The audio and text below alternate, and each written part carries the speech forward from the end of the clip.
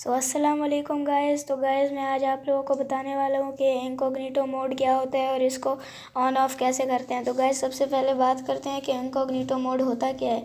तो guys इंकोग्निटो mode जब आप लोग ऐसी जो आइकन होता है आप लोगों का, ये चैनल वाला आइकन जो होता है, जब आप लोग इसको प्रेस करेंगे तो फिर ये यूअर चैनल के नीचे ही होता है टर्न ऑन इंकोगनीटो जब आप लोग इसको प्रेस करेंगे तो फिर ये यूअर इंकोगनीटो आ जाता है और ये आप लोगों के चैनल के आइकन की जगह ये इंकोगनीटो मोड का साइन आ जाता है।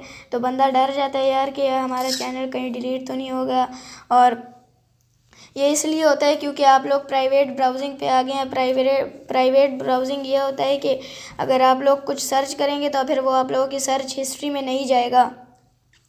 और अब बात करते हैं इसको डिलीट कैसे करते हैं मतलब ऑफ़ इसको कैसे करते हैं। तो सबसे पहले ये इंकोग्नीटो मोड का जो साइन होता है, अगर आप लोग इसको प्रेस करेंगे तो फिर इसमें आ जाएगा खुद ही के टर्न ऑफ़ इंकोग्नीटो अगर आप लोग इसको प्रेस करेंगे तो फिर आप लोगों का चैनल उसी इंकोग्नीटो मोड की साइन की जगह वापस आ जाएगा और सब कुछ ठीक हो जाएगा। तो गाइज़ बड़ा सिंपल तरीका है, आप लोगों ने डरना नहीं है, कुछ नहीं होता।